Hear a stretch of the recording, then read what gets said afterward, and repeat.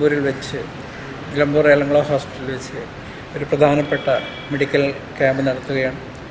ഈ ക്യാമ്പിന്റെ പ്രധാന ഉദ്ദേശം തന്നെ മുട്ടിന് താഴെ കൈമുട്ടിന് താഴെ കൈ നഷ്ടപ്പെട്ടവർക്ക് കൈ വെച്ചു കൊടുക്കുക എന്നുള്ളതാണ്. ഇത് കൈ വെച്ചു കൊടുക്കുമ്പോൾ ഈ കൈ സാധാരണ നമ്മൾ പ്രോസ്തറ്റിക് കൈ വെക്കുന്നത് മാതിരിയല്ല. പ്രവർത്തന പ്രവർത്തിക്കാൻ കഴിയുന്ന കൃഷിപ്പണിക്കാരനാണെങ്കിൽ കൃഷിപ്പണി ജോലി ചെയ്യാം. അടുക്കള ജോലി ചെയ്യുന്നവരാണെങ്കിൽ അടുക്കള ജോലി ചെയ്യാം. ഓഫീസിൽ ജോലി ചെയ്യുന്നതാണെങ്കിൽ എഴുത എഴുതാനുള്ള സൗകര്യം. എല്ലാ ജോലിയും ചെയ്യാൻ പറ്റിയ ഒരു ആർട്ടിഫിഷ്യൽ ലിമ്പാണ് കൊടുക്കുന്നത്. ഇത് വളരെ കോസ്റ്റ്ലി നല്ല വില പിടിപ്പുള്ള ഒരു ഉപകരണമാണ്. അത് റോട്ടറി ഫ്രീ ആയിട്ട് എല്ലാവർക്കും ചെയ്തു കൊടുക്കുകയാണ്. ഇതിനു വേണ്ടി ബാംഗ്ലൂരിൽ നിന്നും ഹൈദരാബാദിൽ നിന്നും മറ്റുള്ള സ്റ്റേറ്റിൽ നിന്നൊക്കെയുള്ള എക്സ്പേർട്സ് വരുന്നിട്ടാണ് ചെയ്തു കൊടുക്കുന്നത്. ക്യാമ്പിൽ പങ്കെടുക്കുന്നതിനായി രണ്ടായിരത്തി പത്തൊൻപത് ജനുവരി പതിനഞ്ചിന് മുമ്പ് രജിസ്റ്റർ ചെയ്യേണ്ടതാണ്.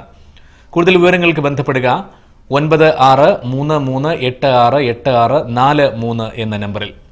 നിങ്ങളെ പരിചയത്തിലോ അല്ലെങ്കിൽ നിങ്ങളുടെ സുഹൃത്തുക്കളുടെ പരിചയത്തിലോ ഉള്ള ആർക്കെങ്കിലും ഇതിന്റെ ആവശ്യം ഉണ്ടായിരിക്കാം. അപ്പോൾ നിങ്ങൾ ഇത് എല്ലാവരിലും ഈ വിവരം അറിയിക്കണം. നിങ്ങളുടെ കുട്ടികളോട് പറയുക നിങ്ങൾ സുഹൃത്തുക്കളെ അറിയിക്കുക.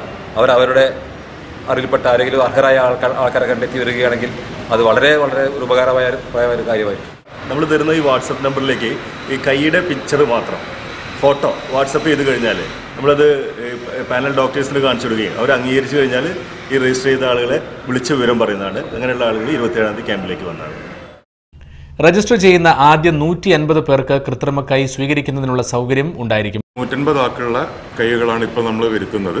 അപ്പോൾ അതിൽ കൂടുതൽ ആളുകളുണ്ടെങ്കിൽ നമ്മൾ വീണ്ടും ഇതേപോലെ ഒരു ക്യാമ്പ് സംഘടിപ്പിക്കുന്നത്. കേരളത്തിൽ കേരളത്തിൽ ആദ്യമായിട്ടാണ് ഇങ്ങനത്തെ ഒരു ക്യാമ്പ് സംഘടിപ്പിക്കുന്നത്. ബാംഗ്ലൂരിലുള്ള സ്പന്ദന റോട്ടറി എന്ന് പറഞ്ഞിട്ടുള്ള അവിടുത്തെ ഒരു ക്ലബ്ബും നിലമ്പൂർ റോട്ടറി ക്ലബ്ബും കൂടി സഹകരിച്ചിട്ടാണ് ഇത് ചെയ്യുന്നത്.